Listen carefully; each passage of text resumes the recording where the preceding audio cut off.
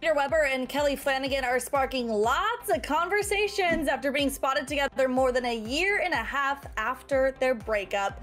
What's up, everybody? I'm your host, Blakely McHugh, and welcome back to another shared news update.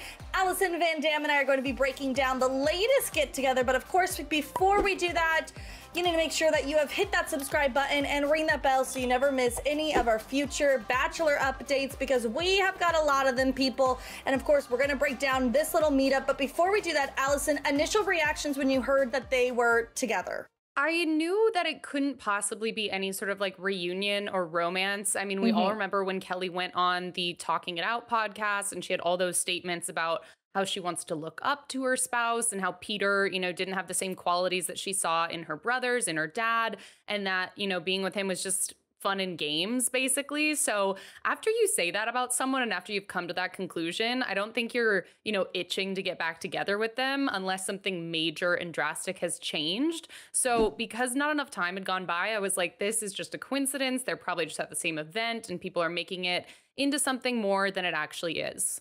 Okay, so we so you saw this and you weren't like shocked or anything like that. You're just thinking coincidental. I think coincidental. Everyone in Bachelor Nation runs in the same circles, and I do yeah. not see these two getting back together. Now we could be doing a video in six months' time, and you're gonna have to make me admit on air that I was wrong. But I am putting money down, I don't think they will ever get back together. Okay, so let's explain to the people a little bit about how these two met up. If it was like whether or not it was planned, we have no idea. But here's the deal. So they were both at Wrigley Field in Chicago on Wednesday watching the Cubs take on the Nationals. Fans obviously took pictures of them walking around the stadium together, that they were talking after the game had ended. It is important to note there was no like affection or romance, at least that I saw from the photos, no hand holding, anything like that. They clearly weren't trying to hide their reconnection because they even took a photo together with a fan at one point. I was going to ask you like this is this just friendly? There's nothing more going on here. Strictly platonic is kind of like where you're at, Alison. I think it's strictly platonic. I think they, you know, maybe are reestablishing a friendship or at least being friendly um, since it has been, you know, a while since they split.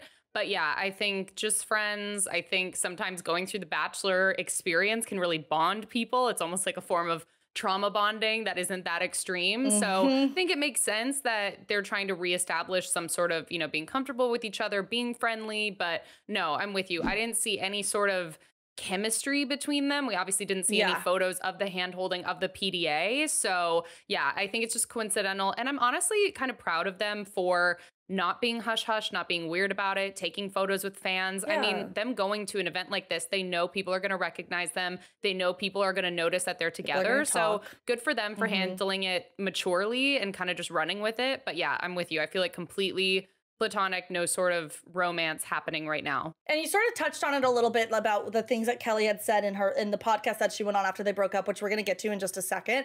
But kind of just to give people a background of like their romance. Basically, Kelley and Peter dated after both of their times on The Bachelor. Obviously, once Peter ended things with Hannah Ann Sluss and then Madison Prewett. You know, he had a whole list of women that he went through.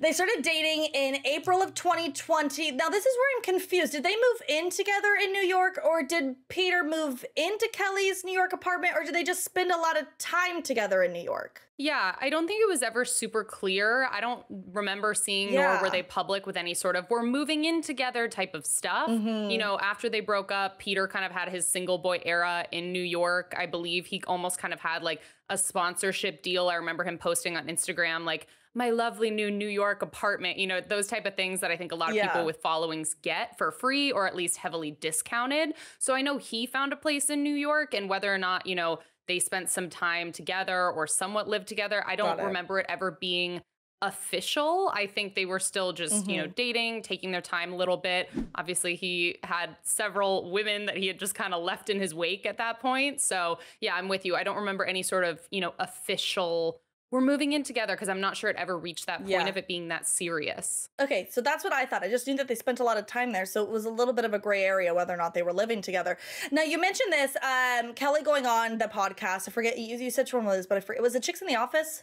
It was. She went on she the Talking It Out podcast with yeah with Mike and Brian is where she made mm-hmm. the kind of infamous comments about not looking up to him, you know, not kind of yes.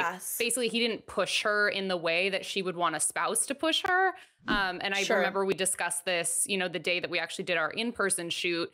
He obviously is, you know, very renowned and talented at what he does at being a pilot. He's been very successful with that. But I think what she was struggling with is if she's having a tough day or if she's struggling with something in her own life, mm-hmm. she wants, you know, either a boyfriend or a spouse to be someone that she can turn to to get advice from, to really push her. And I think yeah. that's what she was lacking in Peter. Cause I think it was Mike sure. um, on the podcast even said, you know, well, he's a great pilot. And she said, absolutely, he is. But, you know, him being a great pilot doesn't really help comfort her at the end of a day or give her great advice. So I think that's sure. kind of what she was trying to convey when she did that show. Yeah.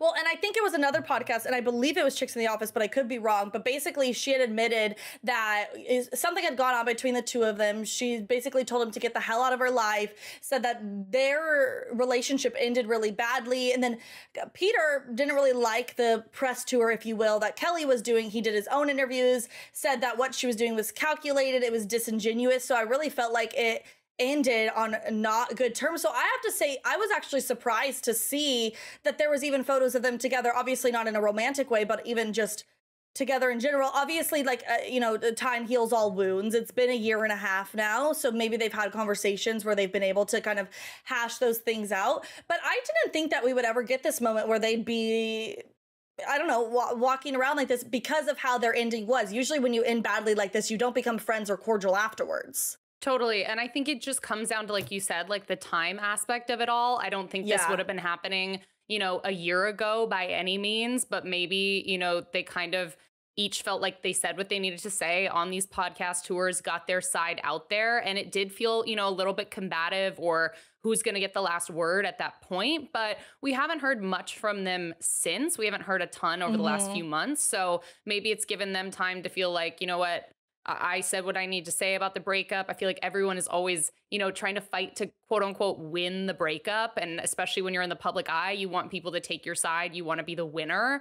Um, so maybe they feel like they've said what they needed to say and that they are ready to move forward. Again, who knows necessarily like who asked them to be at this event. This could have been a public, you know, PR thing. This could have been, you know, different mm. brands wanted them there. So maybe it's more of a work thing than anything else. They might have might have not necessarily had a choice. You know, I doubt they were texting each other being like, you know who I would love yeah. to like go to this game with? My ex. So yeah. we really don't know the tiny details behind all of this. But yeah. again, I'm just happy that they can be cordial, they can take photos. No one's yelling anything at each other. No one's saying, I can't look up to you the way I looked up to my dad. Like, so, yeah. you know, time heals all. Which, by the way, I, maybe people have forgotten this, but they kind of have a thing for professional league sporting events because they ran into each other at the Super Bowl in Miami in 2020. That's when Peter actually got Kelley's number. Obviously, they didn't date, start dating until two months later, but that's sort of like when the romance took off for them after the show. Now we have them at an MLB game. So, is there a world in which we see her Kelly get back together? You know, I mean, I was quite adamant about it at the beginning, just based on what's being said. I really don't think so. Yeah. I mean, yeah, is this maybe like a step in the right direction? Sure. But it's like you can be nice and friendly with an ex and still understand that like nothing has really changed and you don't want to enter back into that toxic environment. I think Kelley has really honestly moved on from a lot of this. I think she's moved out yes. of the franchise a lot. She doesn't really engage with other people in Bachelor Nation. We don't see her other than those, you know, couple podcasts. We don't see her actively seeking out the spotlight. I think Peter's had a little more issue with that and maybe falling off from being the Bachelor has been more of a transition for him. But I just think they're in such different spots in their lives and they're very different people. So I'm going to stick with my answer and say no. I don't think that they are going to get back together. And whether they remain friends or not, we'll see. But no, I don't think there's any sort of romantic potential between the two of them at this point. I'm with you. I need I need to see Kelley move on like Peter's exes. Hannah's got the NFL guy, Madison's got the billionaire family, and we need to see we need to see Kelley leveling up leveling up in that way too. But of course, we want to know what you guys think.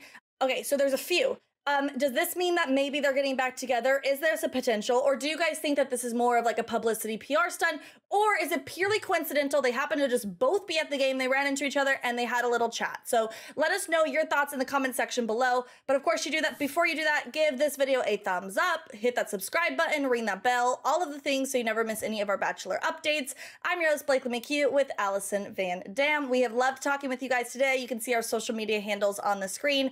Drop by, give us a follow, and say hello, and we will see you next time.